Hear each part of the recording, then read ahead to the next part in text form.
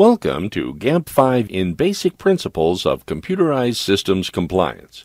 As you can see from this diagram, leveraging supplier involvement is a key GAMP 5 concept.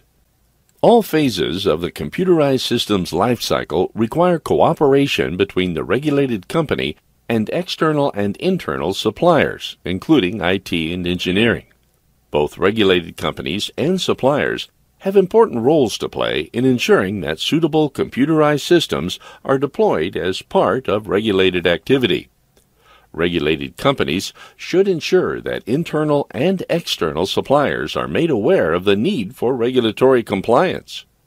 The regulated company should verify prior to contract placement that the supplier has adequate expertise and resources to support user requirements and expectations. The most common mechanism for this is the supplier assessment, which may include an audit depending on risk, complexity, and novelty.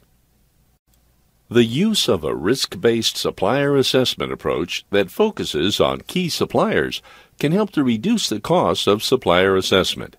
There are three main options for performing a supplier assessment basic assessment, postal audit, on site audit.